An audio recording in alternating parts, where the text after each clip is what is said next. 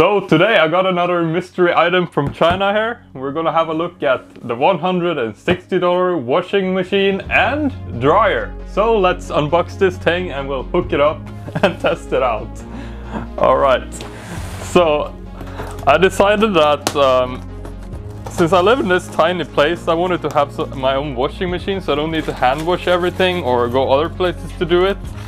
Um, yeah, so then I came across this cheap uh, $160 washing machine and dryer combo um, on the internet. So uh, I'm assuming that it's gonna work, but we will find out together, won't we?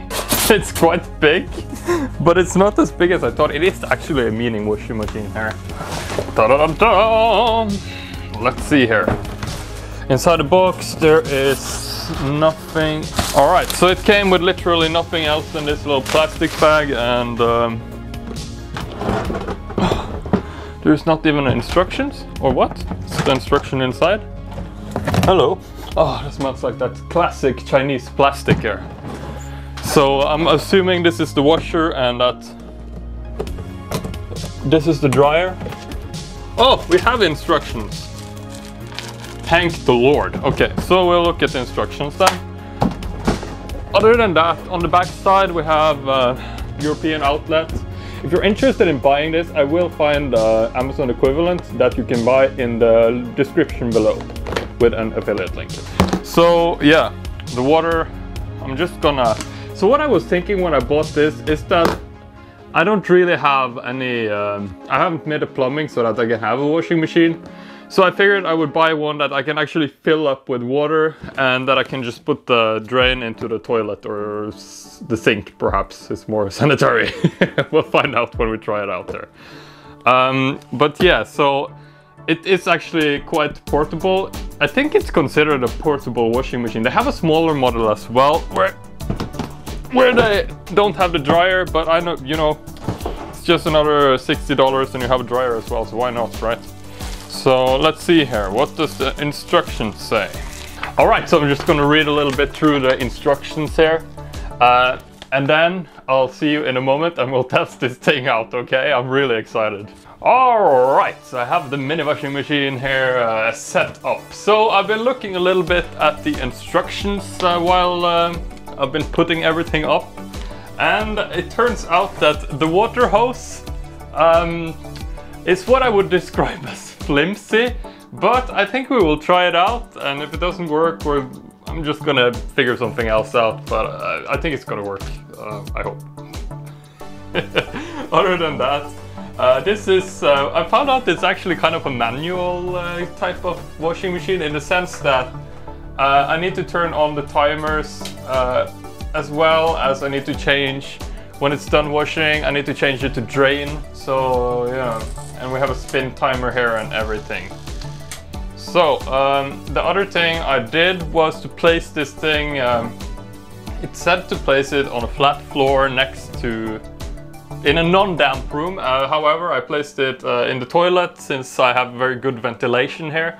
But that's something in, to keep in mind if you're gonna end up buying one of these things. Uh, I placed it next to the toilet for now so that I could put the drain hose um, inside of the toilet. It's uh, it's just a hose that I put in the toilet. I'm not going to show you the toilet. okay. All right, so I think we're just going to try it out and see what happens, to be honest. Uh, it says to fill the water up to the level that uh, your clothes... Uh, I don't even know, it's so bad. It's, it's written in pretty bad English here. It's clearly Chinese. so... Um, yeah, and I also found this thing for the dryer. This is something to place on top of the dryer. We'll try that out later.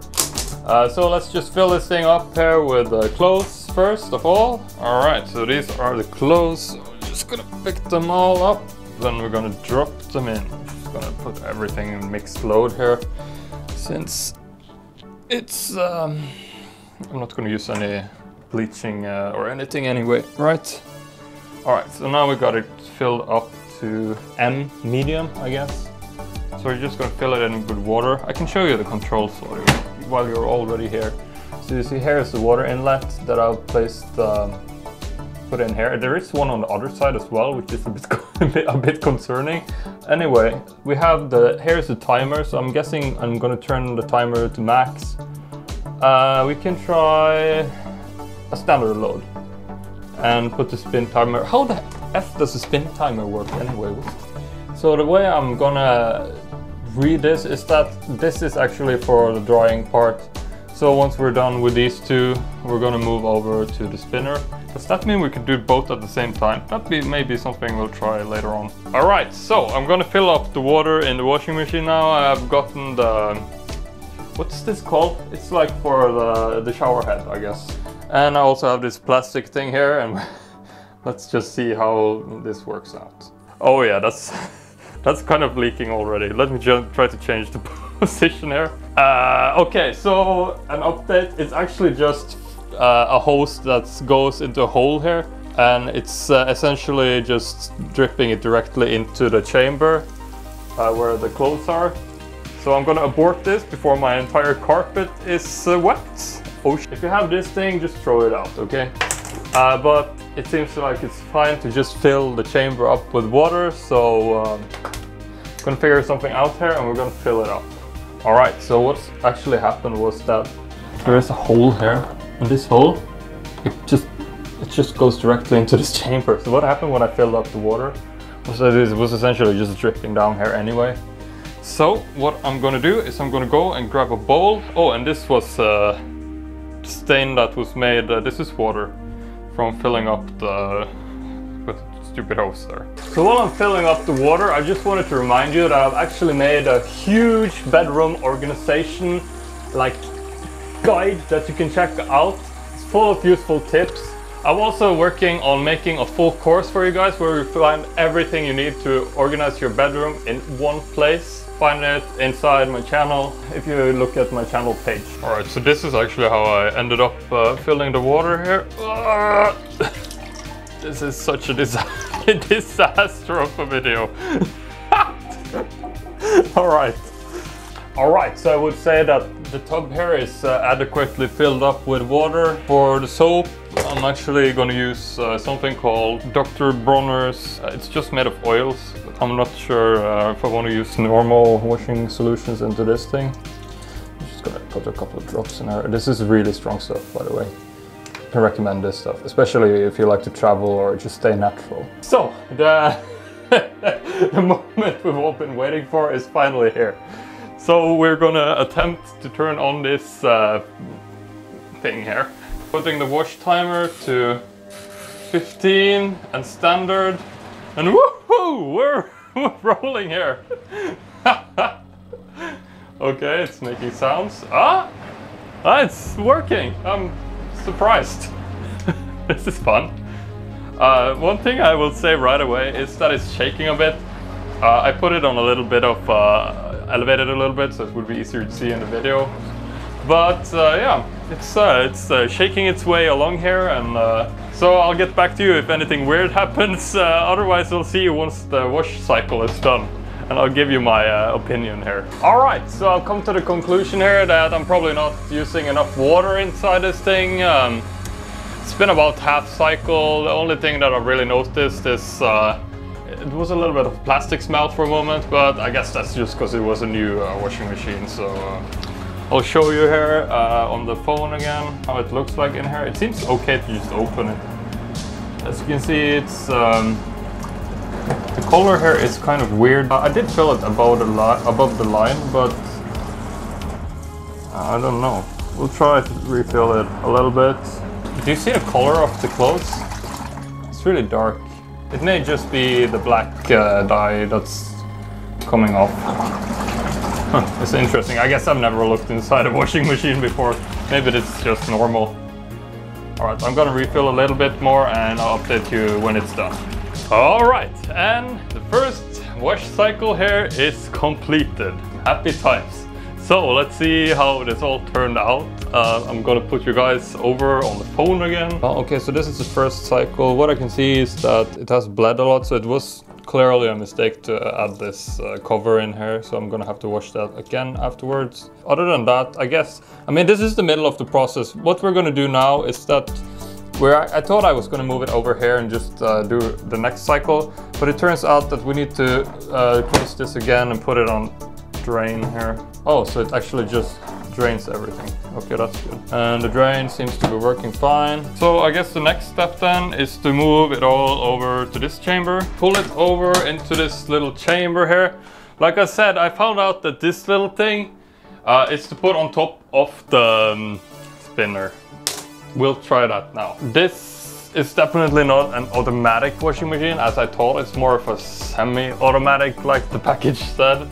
Uh, in the sense that I need to move it back and forth. Like I can't just go away into another room for, you know, two hours or something and when I come back everything is done. This is more of a hands-on process. Like you will be moving the clothes back and forth.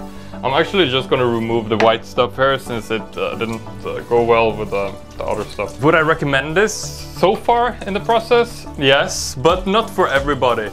I would recommend this for somebody who does not have uh, water put in like specifically for a washing machine.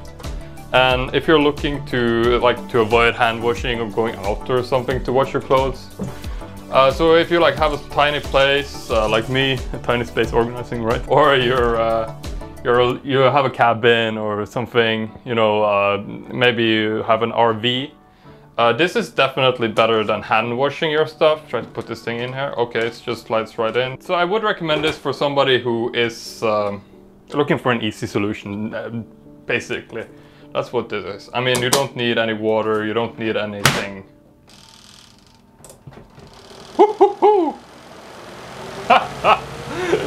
okay, now we're talking. All right, putting it on max and um, yeah. I'll see you guys in a couple of minutes. And I'm back again. All right, so a couple of things have happened since uh, the last in the last five minutes or so. Uh, I actually uh, did a manly thing or unmanly thing and read the instructions, uh, and it turned out we were supposed to put a little water in here as well on the other side. That was what the other water inlet was for. So I just put a little bit for like 20 seconds, added a tiny bit of water in there. And uh, yeah, I also refilled the other side of the tank with uh, fresh water without any detergent inside. Um, I also had a little bit of an issue when emptying it. It didn't empty all the way, so I kind of had to give the water machine a little bit of an angle so that all the water would run out of it. But other than that, uh, it's been fine. Like I said, I took out the white clothes and I put them for later wash. So let's have a look inside here and see. Let us have a look. So let's take this out if we can. Yes. Oh, and one more thing uh, before we look at the clothes. Um, when you refill the water, you see this select switch here? If that is on drain while you're filling the water, you're an idiot, uh, like me. You need to put it back on standard, or you will be filling water and it will be emptying out, and you'll be filling empty. Just, it didn't work out. Alright, so anyway, let's continue to look at these things. Um, it sm smells good, I guess. Uh, they're definitely a lot drier now, I can tell. So we're gonna transfer it all back into this container here. So this was a lot easier than I thought. Um, we're going in for the last little cycle here. And we keep it on standard, put the timer on 15 minutes. And we're back to the shaking show here. We shall meet again in about 15 minutes. And I'm back again. It has not been 15 minutes at all. It's been more like two minutes. So I was thinking, uh, can I do the washing and the spinning cycle at the same time? Because if so, uh, we can kind of uh, get a little bit of um, a train going here. We like uh, put the whites in one, then put the colors in after, while moving the whites to the spinner. You're gonna kind of go back and forth and mix the wool load in there. So what I want to try is to put uh, the whites from earlier into the spinner here and add a little bit of water through this uh, horrible hose here. And essentially I want to see if I can do both cycles at the same time. So will it blend? Yes, it will. Okay, so we can do two cycles at the same time and we're shaking away here. Woohoo! So I'm gonna try that massage thing now. free massage chair, guys. Fantastic. Alright, we'll speak again in 10 minutes. And I'm back. Okay, so uh, let's see here. It smells a little bit like plastic, but I'll give it a pass since it's a brand new washing machine. The white stuff is fine, so let's have a look at the other chamber here.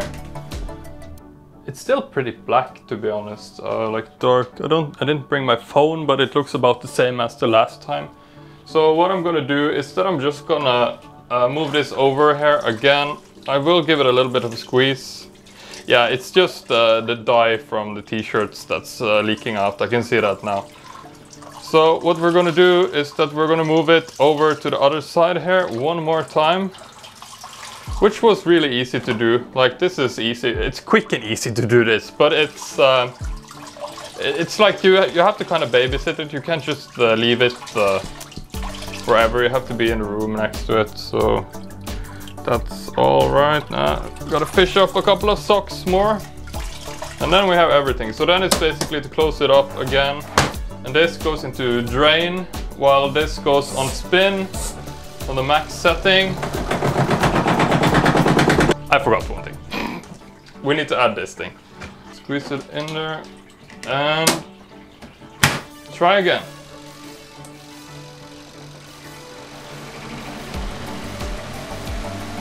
And we're good. Always remember the little flat thing if you're gonna buy this thing. Again, I'm gonna link to it if you're interested. So this is the second last update and I'll see you in the final update with my thoughts. Alright, so it's the moment of truth. Will it be dry? Will it not? So I gave it two drying cycles here, uh, just to be on the safe side. Now um, let's have a look and see how this all turned out in the end. Ta -ta -ta wow, okay. It's not um, it's not 100% dry, but I didn't expect that. But there is literally, it's impossible to wring any more water out of it. So um, Let's look at some t-shirts as well. This is a cotton t-shirt, one of my favorites. Um, can we wring any water out of this? Nothing. Okay. I like that. Still gonna have to hang dry it uh, for a little bit, I think. So yeah, but with two cycles, with one cycle it wasn't fully uh, dried. Like I couldn't get, I could get a couple of drops of water out of it when it was uh, just with uh, the one cycle. So yeah, two cycles, it will actually dry the clothes pretty much almost fully, but you will need to use your drying rack. I made a full video on how to dry clothes. I actually made two, two videos on how to draw, dry clothes. One that's really popular uh, I will link them here, so you can check them out. Alright, so I guess what you all came for is to hear my conclusion. What did I think about this? Was it worth it? Uh, for $160, I would say yes, it was worth it. But it's not like it's not the normal uh, washer dryer. Obviously, you're paying a, a fifth, uh, even a sixth or seventh of the price that you would have uh, like a premium washer dryer. Uh, this is small, portable, it does not use a lot of electricity. I did not measure it, but I read about it before I bought it. Um, other than that, it, uh, it does take small loads. Like this is all I could fit in the washer and dryer, which would be like uh, three t-shirts and a mountain of socks, maybe 10, 12 socks, something like that. And that's the max load, like the dryer part could not take more. The washer part could easily do at least double that. So you could probably do a week's worth of laundry in the washing part. But you would have to split it up into three, two or three rounds in the dryer. Uh, if you don't want to overfill it, but I guess you couldn't even overfill it to that point. Uh, it, the whole process took about, I guess, with all the moving back and forth and everything, it took about 15 minutes, I would say. First there was 15 minutes in this chamber, then another 5 in this drying chamber, then it was back to the first chamber for another 15 minutes to uh, kind of uh, wash out all the detergent. Then I moved it back to this chamber for another 10 minutes, which um, almost completely dried it. Obviously I'm gonna hang it like for a couple hours to get out uh, the rest of the moisture. So overall, yes, it, I recommend it. I am gonna add uh, a link to Amazon down in the description of the video below here that you can click if you want to purchase or have a look at the machine. Yeah, I want to say thank you a lot for watching. I'm gonna a lot for lot for watching. you should thank me for watching, I guess. Or no, we should thank the machine. Come on. uh, I'm gonna do a video on how to uh, like a mini dishwasher as well next. Uh, that should be pretty cool. Uh, I hope you will like that as well. Uh, do subscribe to the channel so you do uh, get a notification when I release it. Yeah, so now that we're done washing, uh, head on over to the drying video and I will show you how to do that as well.